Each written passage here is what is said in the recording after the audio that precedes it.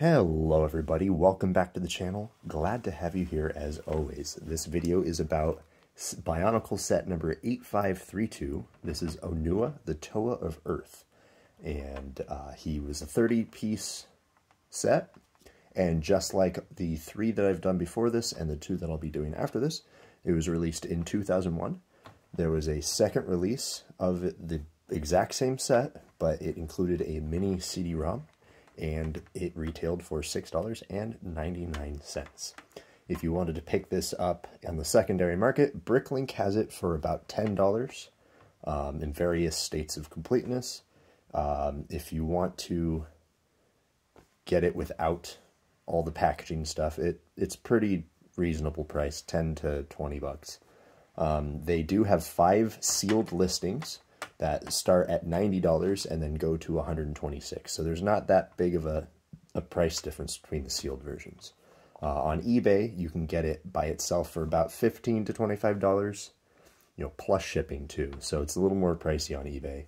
Um, if you want to get the completed set, you know, already put together and stuff like that, it goes from anywhere between 20 and $40. Um, and then the sealeds go, I think I've only saw two of them, and the cheapest one was $120. So honestly, Bricklink is probably the better way to go to get yourself one of these. Um, I don't have the canister for this one or the other two. I have no idea where they were. And maybe someday I'll find them, maybe I won't. Um, but you're not really missing anything with the canisters. They're all the same, except for the artwork and the color of the cap.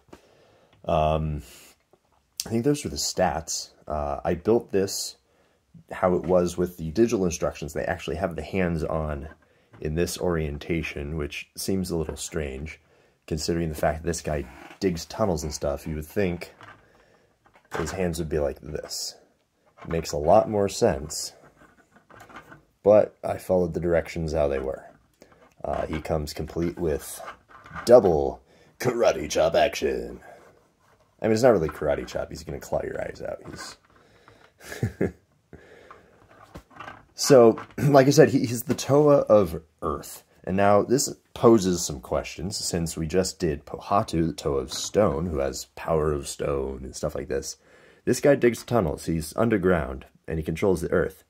Um, well, does it overlap with the stone? Does it supersede the stone?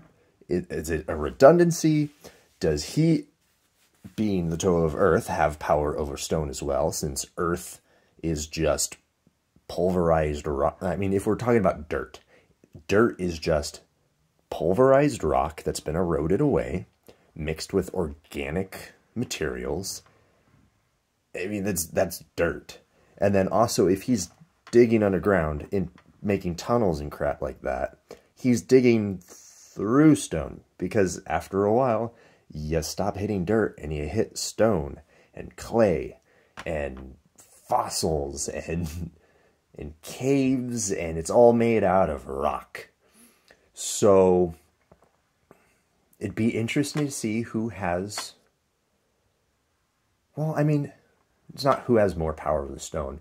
Clearly Pohatu has more power directly over stone but Onua would have more power over other material, you know. But you would think that either he does have control over stone, or he's just strong enough to cut through it. Because you know, he's little little rat claws he's got is, you know, I don't know.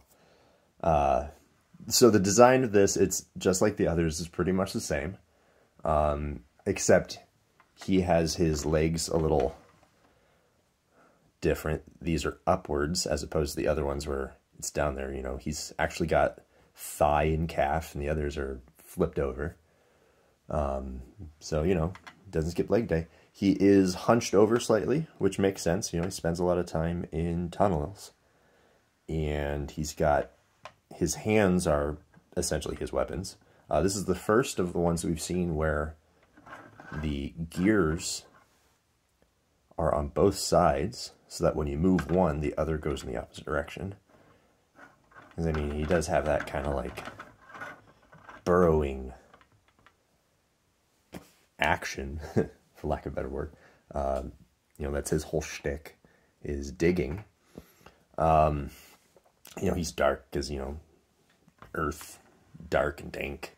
Underground, really dark. Um, there's not really anything else, you know, for his physical description that's different than the others, honestly. It's all very much the same. It's the same parts, different colors. He's got the, dark gray where Kopaka has the light gray.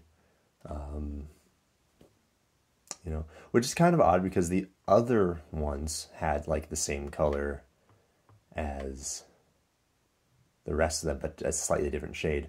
But, you know, I mean, if you think about it, the gray and the white is kind of...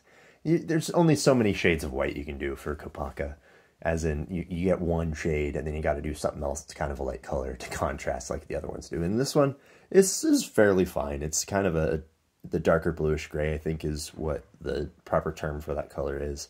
And the black. I mean, that's fine. You know, it makes sense. Um, oof. I actually, right before making this, touched up a little bit on the lore. Um, and I mean, it goes goes on and on and on. There's what a decade of lore behind these things, but it says this guy was more of like the the silent one, very introspective and kind of like the wise one of the group, which makes sense. You know, you spend a lot of time underground by yourself, you get kind of introspective. You uh, talk to yourself a lot. You got a lot of time to think. Um, and yeah, I, I kind of got nothing else to say about him, you know. Uh, I did forget to mention with the other TOAs that in the back of their instructions, you get to combine them, three each, into either this one or this one. And apparently this is what they did to help them in the lore, in the the plot, essentially, of the first season of them. And you take three of them, you combine them together into sort of like a, a Megazord, and each of these instructions come with a section of the instructions for it. Because it's like this is uh, Pohatu. He starts step 17. Um, I'm pretty sure I've built all of these at some point. Um, they're kind of ungainly because, I don't know if you can tell down here, you actually do put the gears in the hips, so you can move the move the legs, but those are long, long legs, and it's sort of just, yeah.